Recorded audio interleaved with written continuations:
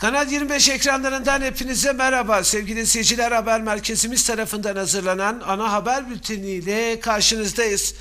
Palandökenli Kayak Merkezi'nde sektör temsilcileriyle bir araya gelen Vali Ahmet Altıparmak 2014-2015 kış sezonu öncesi yapılması gerekenleri konuştu.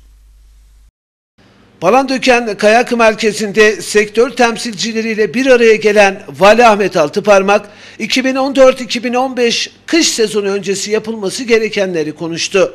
Altıparmak, ortak hareket etmenin yollarını arayalım istedik. Üniversitelerimizin ve ilçe belediyelerimizin de işin içinde olması gerekiyor. Herkes bir kaynak kullanıyor ancak kaynağın Erzurum'un geleceği için kullanılması her zaman mümkün olmuyor.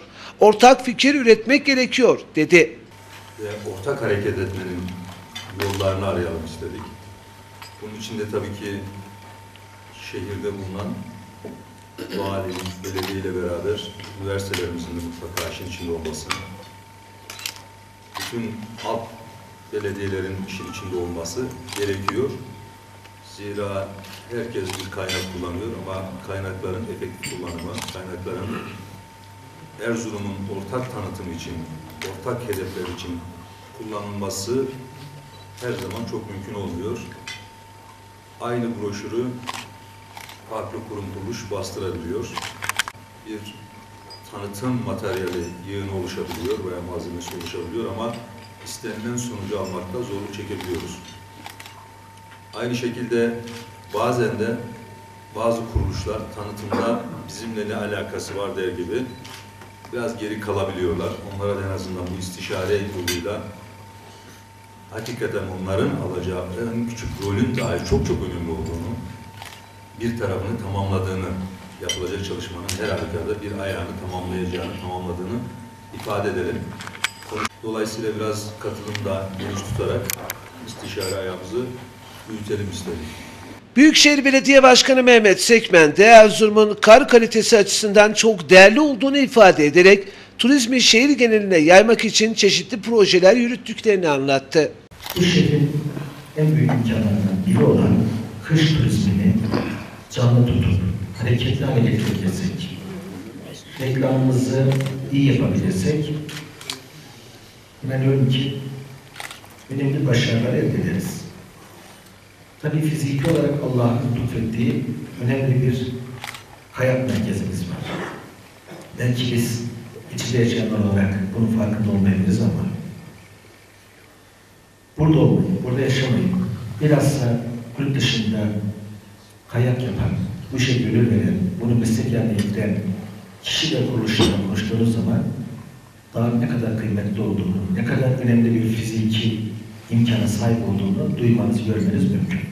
Bunun için biz de bu imkanı değerlendirebilirsek Erzurum'umuz arzu edilen yere ulaşır.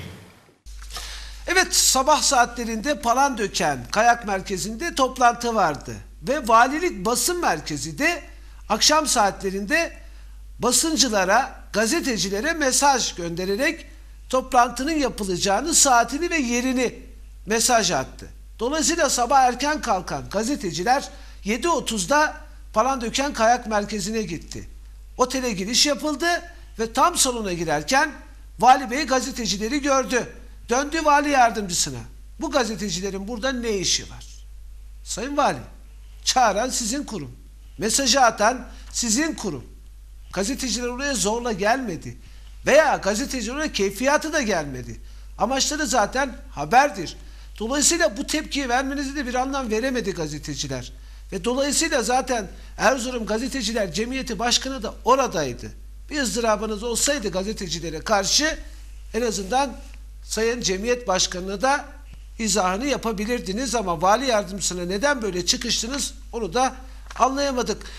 Geçelim bir başka habere. Erzurum'un Köprüköy ilçesinde hayvan otlatma meselesi yüzün, yüzünden çıkan kavgada bir kişi bıçaklanarak öldürüldü. Edinilen bilgiye göre Köprüköy'e bağlı Ortaklar Mahallesi'nde meydana gelen olayda FK ile CT arasında hayvan otlatma meselesi yüzünden tartışma çıktı. Tartışmanın kısa süre sonra kavgaya dönüşmesiyle FA üzerinde bulunan bıçakla CT isimli şahsı bıçakladı. CT olay yerinde hayatını kaybederken jandarma ekipleri şüpheli FA'yı gözaltına alarak olayla ilgili tahkikat başlattı. Türk Bürosan Erzurum Şube Başkanı Gani Harmandar hakim ve savcı ücretlerine 1155 TL'lik zammı içeren yargı paketini eleştirdi. Türk Bürosen Şube Başkanı Gani Armandar sendika binasında yargı paketi ve memur ücretleri konusunda basın toplantısı düzenledi. Harmandar, hakim ve savcı ücretlerinin Türkiye standartlarında yeterli olduğunu ifade etti. Bugün Türkiye Büyük Millet Meclisi Adalet Komisyonu'nda hakim ve savcıların maaş zammı artışının görüşüleceğini işaret eden Armandar, Adalet Teşkilatı'nda çalışan 50 bin memurun unutulmamasını istedi. Bilindiği üzere bugün Türkiye Büyük Millet Meclisi'nde Adalet Komisyonu'nda hakim ve savcılara yapılacak 1155 TL zammı da içeren yargı paketi görüşülmeye başlandı. Adaletsizliğin, hukuksuzluğun ve insanlar arasındaki ayrımcılığın her geçen gün artarak devam ettiği ülkemizde HYSK seçimleri öncesi yargıçlara rüşvet olarak dillendirilen hakim ve savcılara yapılacak olan zam adalete olan güveni de azaltmıştır. Yargıçlara yönelik ayrımcı bir uygulama adalete yapılacak en büyük kötülüktür. Bu ayrımcılık anlayışı içerisinde hakim ve savcılarımız itibar kaybına uğrayacaklardır. AK Parti'nin iktidara döneminde memurların ekonomik olarak mağdur olduğunu kaydeden Gani Harmandar, hükümet iktidara geldiğinde memur enflasyon altında ezilmeyeceğiz sözünün altında kalmıştır. Memur enflasyon altında inlerken ve hayatlarını borçla idame ettirmeye çalışırken ek zam talebimize neden kulak tıkanıyor dedi. Harmandar ayrıca 28 Ekim Salı günü Yakut ilçesi eski hükümet meydanında kamu çalışanlarının bir araya gelerek hükümeti protesto etmeleri çağrısında bulundu. Adalet çalışanlar arasında yapılan ayrım çalışma barışını bozacaktır. Bilindiği gibi adalet hükümeti verenler sadece yargıçlar değildir. Yazı işleri müdüründen, mübaşirine, zabit katibinden, teknik elemanına kadar her biri adalet hizmeti vermektedir. 50 bini aşkın adalet çalışanı mesai menfunu olmaksızın hizmet sunmaktadır. Adalet hizmeti sunanlar arasında yapılan ayrımcılık, adalet hizmetlerinin verimini düşürdüğü gibi çalışma barışını da sekteye uğratmıştır. Tüm kamu çalışanlarına ek zam istiyoruz. Değerli basın mensupları, AKP 13 yıllık iktidarı boyunca kanun hükmünde kararnamelerle bir kısım kamu çalışanlarının fazla mesai ücretlerini havuz mes paralarına, ek ödemelerine, ikramiyelerine el koymuştur. Memurlarımızı mağdur etmiştir. Ayrıca süreçte ise üst düzey yöneticilerle ilgili bazı özel düzenlemeler yaparak ücret ve tazminat göstergelerini yükseltmiş, ücretlerinde önemli derecede artış sağlamıştır. Buradan Sayın Bakan'a soruyoruz. Toplu sözleşme mutabakatı dışında başta üst düzey bürokratlar ve sizler olmak üzere hakim ve savcılara zam yaparken neden toplu sözleşme mutabakatından bahsetmiyorsunuz? Yoksa üst düzey yöneticilerle hakim ve savcılar kamu görevlisi görmüyor musunuz? İşinize geldiği zaman toplu sözleşme metnine bahane etmeniz hiç de yakışık kalmıyor. Hükümet iktidara geldiği günden bu yana söylediği memuru enflasyonun altında ezdirmeyeceğiz sözünün altında kalmıştır ve sözünü yerine getirmesini istiyoruz. Türk Bürosen olarak hükümeti bugüne kadar yaptığı açıklamaların arkasında durmaya ve memuru enflasyon altında ezdirmeden kurtarmaya davet ediyoruz. Eylemlik sürecimizi bugünden itibaren başlatmış bulunuyoruz. Sürecimiz devam edecek. Ayrıca üretimden gelen gücümüzü kullanmaktan da geri durmayacağımızı kamuoyuna durdururuz, duyururuz. Erzurum'un Hınıs ilçesinde iş idi bahanesiyle düzenlenen izinsiz gösterilere karıştıkları gerekçesiyle gözaltına alınan 12 kişi tutuklandı. Hınıs ilçesinde IŞİD bahanesiyle düzenlenen izinsiz gösterilere karıştıkları belirlenen 12 kişi tutuklandı. Alınan bilgiye göre İl Emniyet Müdürlüğü ekipleri tarafından izinsiz gösterilerde Aralarında bazı okul, market, banka şubeleri, araç, mobese sistemleriyle iş yerlerine molotof kokteyli attığı ve zarar verdiği öne sürülen kişilere yönelik yürütülen çalışmada gözaltına alınan 12 kişinin emniyetteki işlemleri tamamlandı. Adliyeye sevk edilen zanlılar çıkarıldıkları mahkemece tutuklandı. Öte yandan yetkililer olaylara karışan kişilerin tespit çalışmalarının sürdüğünü belirterek gözaltı ve tutuklama sayısının artabileceğini bildirdiler. Sevgili izleyiciler, Mustafa Kemal Atatürk'ün milli mücadeleyi başlatmak için geldiği Erzurum'da büyük coşku ile karşılandığı İstanbul Kapı restore edildi. Yakutiye Belediyesi tarafından İstanbul Kapı'nın kurtarılması ve turizme kazandırılması amacıyla hazırlanan proje 1.2 milyon liraya mal oldu. Yaklaşık bir yıl süren restore çalışmalarının ardından hizmete giren İstanbul Kapı'nın açılış törenine Vali Ahmet Altıparmak, Büyükşehir Belediye Başkan Vekili Eyüp Tavlaşoğlu, Atatürk Üniversitesi Rektörü Profesör Doktor Hikmet Kocak, Yakutiye Belediye Başkanı Ali Korkut, Emniyet Müdürü Kamil Karabörk, Türkiye Kayak Federasyonu Başkanı Erol Yarar, merkez ilçe kaymakam ve belediye başkanlarıyla çok sayıda davetli katıldı.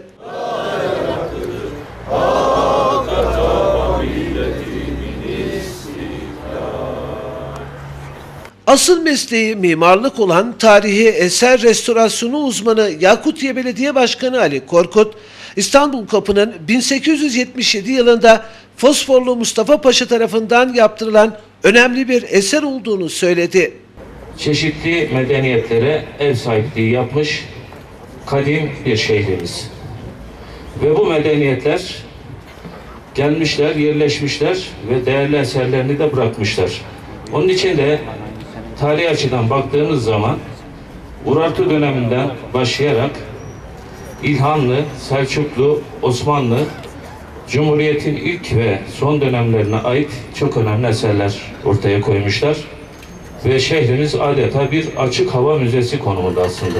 Tarihin e, ilçemizin asıl kimliğini ortaya koyabilmek için tarihi kimliğin ön plana çıkarılması gerekliliği düşüncesinden hareketle öncelikle Yakutiye ve Lalapaşa'nın etrafını düzenleme yaparak güzel bir kent meydanı oluşturduk.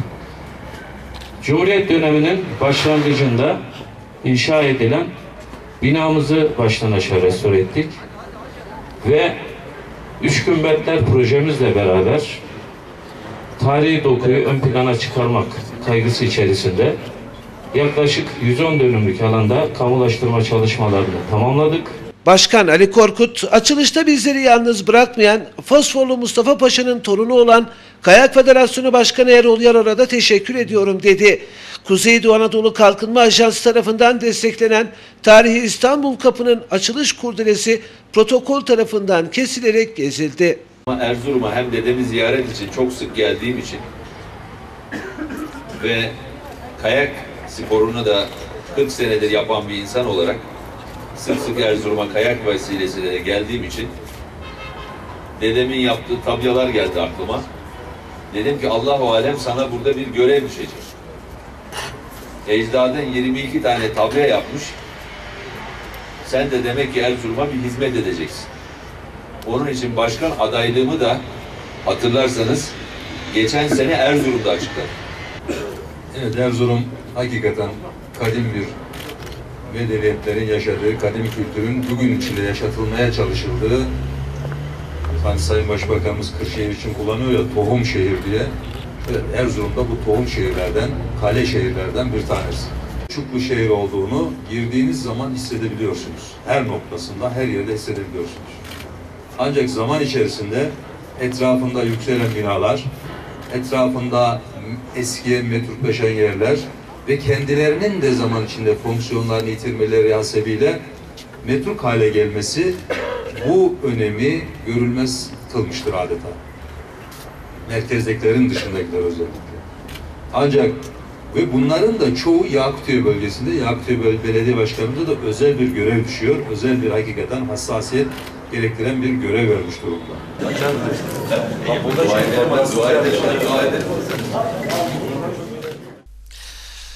Gelelim yine kaçak sigaraya. Sevgili izleyiciler, Erzurum'da uygulama noktasında kaçan araçta 13.310 paket kaçak sigara yakalandı. Erzurum'da uygulama noktasında kaçan araçtan 13.310 paket kaçak sigara ele geçirildi. Alınan bilgiye göre Kaskapı uygulama noktasında polisin dur ihtarına uymayan bir aracın yakalanması için çalışma başlatıldı. Recep Akdağ Caddesi'nde polis ekipleri tarafından durdurulan araçta yapılan aramada 13.310 paket kaçak sigara bulundu. Gözaltına alınan bir kişi hakkında yasal işlem başlatıldı. PTT Teşkilatı'nın 174. yıl dönümü bugün kutlanmaya başlandı. Gün anısına 174. müşteriye de pullu plaket hediye edildi. 23 Ekim 1840 tarihinde Osmanlı Devleti'nin ve yabancıların posta ihtiyaçlarına cevap vermek amacıyla kurulan PTT bugün 174. yaş gününü kutluyor. Türkiye'nin diğer illerinde olduğu gibi Erzurum PTT Baş Müdürlüğü'nde de yaş günü kutlaması vardı.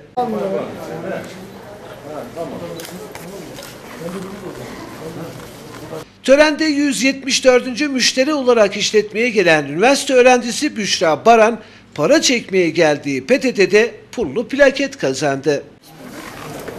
Teşkilatımızın 174. kuruluş münasebetiyle e, 174. müşterimize şey, şey e, armağanımız olacak.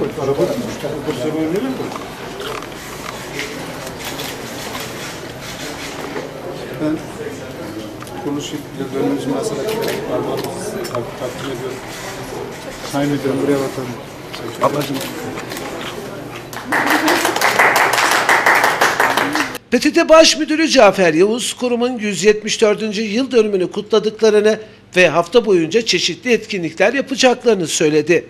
Bugün e, 23 Ekim e, 2014 günü kuruluş yıl dönümümüzü kutluyoruz. Bu çerçevede işte e, etkinliklerimiz söz konusu. İşte e, saat 9 itibariyle çelenk bırakmış olduk.